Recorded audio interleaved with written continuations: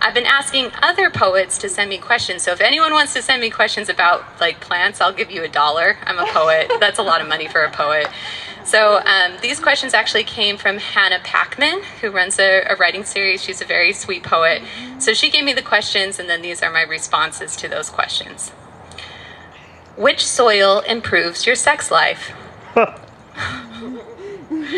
uh, even sex isn't about sex.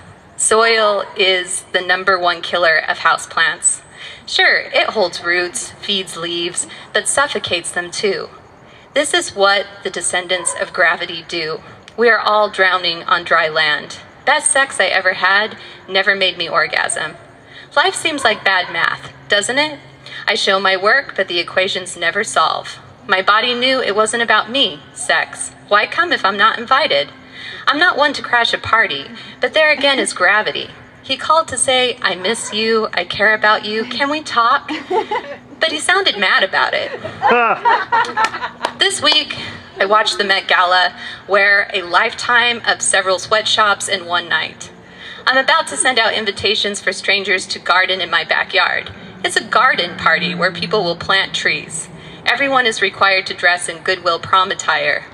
That's how much I love hate the dirt under my fingernails. I'll put these nails on you. There's something like sex in that. Come on. Come on. All right, next question. uh,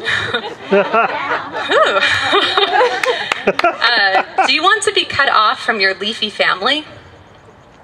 You should write a story about that.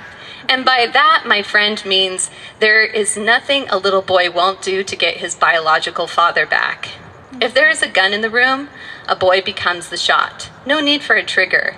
Living is a sort of bullet. My brother is the stepfather in the barrel. If I were to guess, he will keep the gun but put a ring on it. I drove out to compare social service notes. Between born and adult narratives, I thought I'd be a social worker. Isn't it humiliating when they open your fridge? Know this it's important to always have fresh broccoli in the fridge. My friend says, don't make it about you. It ruins everything. Hmm. All right. Final question. If you were soil, would you want to be inside? Our house is sexy. Silphium is the origins of the ubiquitous heart symbol. Harvested to extinction, Romans used it in their coinage. An early form of contraception, co- contraception? Why can't I say that word? Scary. Okay. take it back. Okay.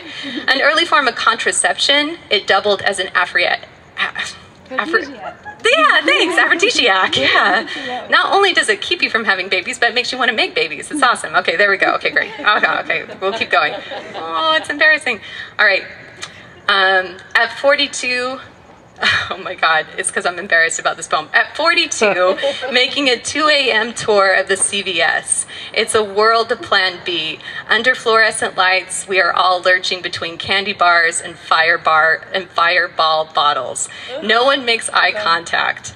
I can describe the floor. Gray flecked tiles with sneaker streaks. The 15th tile on the 8th aisle is cracked in the upper corner. The greeting cards, a coliseum of hearts. Tonight, three bodies are heaped at the front door under blankets, even in 100 plus degrees. We all crave privacy, but I'll settle for red vines. Yes. Thanks, you guys.